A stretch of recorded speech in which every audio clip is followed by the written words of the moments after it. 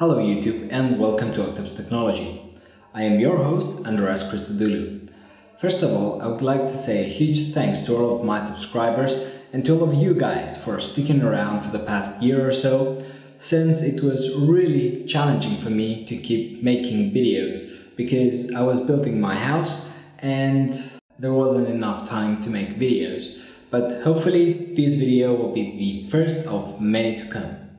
So anyway, in this video today, I'm going to show you how you can make your VPN server on the UniFi USG. The reason I am making this video is because I was having some issues with my Windows 10 release version 3, which is the default creators update on my Windows 10 machine, uh, since the client would just not connect. So I just wanted to clarify a few things before going further into this video. So the main reason is that the issue I was having was not my problem, it wasn't my mistake uh, on the configuration side so I decided I'll make a video about it. The fix was actually quite easy. It was a registry key which the UniFi support was very kind to supply and that key is gonna be available below.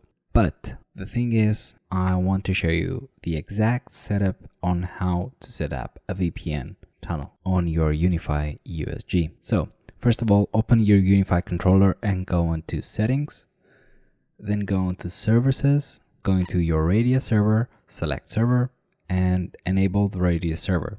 Give it a secret key and hit apply changes. Then what you need to do is go into users and then create a new user. I already have created a new user and his name is VPN and give that user a password.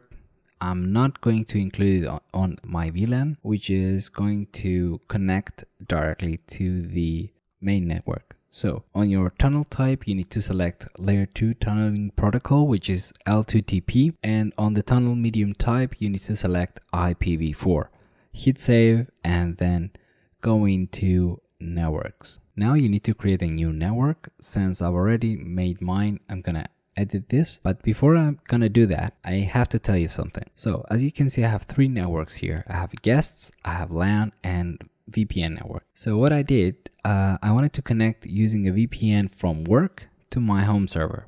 The thing is, I had the same network range at home and at work, which was 192.168.1. And unfortunately, I wasn't able to get to where I wanted since we had been using the same IP addresses for both uh, sides of the VPN. So you need to select a unique non-publicly routable IP address for your LAN and then you need to go forward with making a VPN network. So with that out of the way, let's edit my network. So the network name is VPN network. For purpose, select remote user VPN on the VPN type, select L2TP server, then give it a pre-shared key. And here, you shouldn't be confused by this. So this is gateway slash subnet.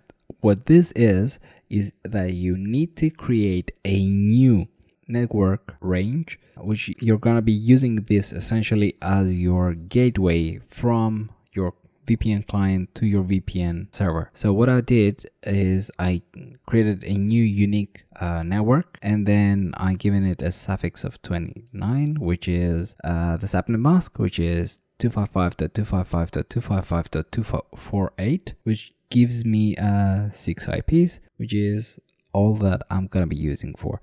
If you want, you can change this. You can, uh, I don't know, uh, use 24, which will give you 254 um, IPs. Since I'm only going to be having a few clients connected to my VPN server at a time, there's no point in doing that. So on the name server, keep this in auto. You don't need to change anything. You don't need to expose uh, this to a site-to-site VPN. The thing that you do need to change is under radius, on your radius profile, you need to select the default profile uh, and then hit save. The reason that I'm not telling you to go into profiles and create a new radius profile is that as you can see, this profile is under radius. So what this does, it lets the USG manage the radius profile. So you don't need to create a new radius profile to have your VPN working. So this is all done on the USG side. What you need to do now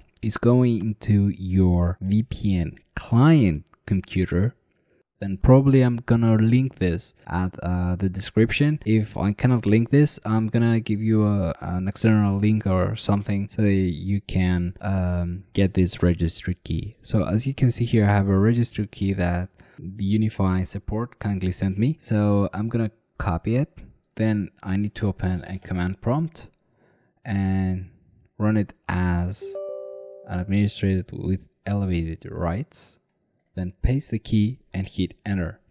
Now you need to restart your computer. But uh, since I'm not able to connect, since I cannot uh, use my own network to connect to my uh, L2TP server, there's no point.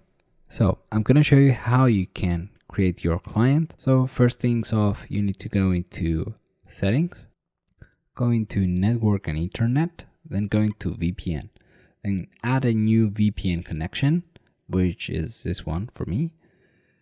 So uh, type in a connection name. This is just a name, nothing uh, serious. Here you need to add your uh, public IP address, which is the public IP of the UniFi uh, controller that you're trying to access. This is not uh, mine, obviously. This is fake.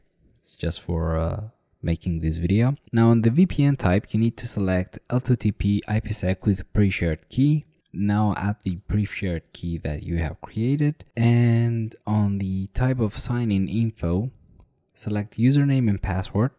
Give it the user name that you've created, which was in my case VPN, and the user's password. Hit save.